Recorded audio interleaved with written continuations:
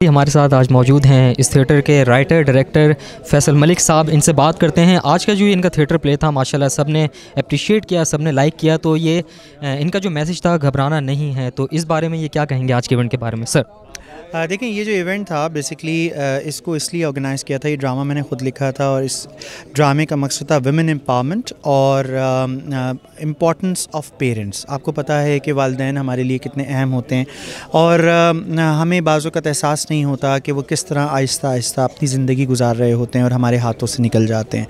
तो ये नई जनरेशन को एक बड़ा स्ट्रॉन्ग मैसेज था कि उनके साथ जितना भी वक्त आपका गुजर रहा है, उसको बहुत ज़्यादा मेहनत से गुजारें और उनको खुश रखें और उनके साथ इंजॉय करें, घूमें, फिरें और गप्पें लगाएँ और उनसे रहनुमाई लें बेसिकली और वुमेन एम्पावरमेंट इसलिए हमने ऐड किया था कि हम ये चाह रहे थे कि इसके अंदर जो है वो ख़वान की इज़्ज़त को सामने लाया जाए, जो कि हमारी नई जनरेशन बहुत करती है, लेकिन उसके बावजूद मज़ीद इम्पोर्टेंस की ज़रूरत है।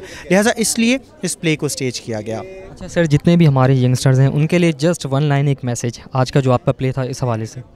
हमेशा वालदेन का एहतराम करें हमेशा ख़वान की इज़्ज़त करें ये मेरा आज का मैसेज है। अच्छा जी थैंक यू वेरी मच और ये थे हमारे फैसल मलिक साहब इस प्ले के राइटर और डायरेक्टर